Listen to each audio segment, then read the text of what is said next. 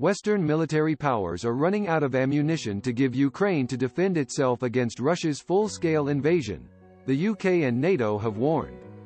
Admiral Rob Bauer, NATO's most senior military official, told the Warsaw Security Forum that the bottom of the barrel is now visible.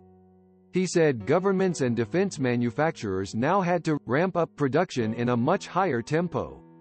Ukraine fires thousands of shells every day and most now come from NATO. So the question now is, the question is, without the US, is whole of NATO with 37 bloc weaker against one country which is sanctioned for more than any.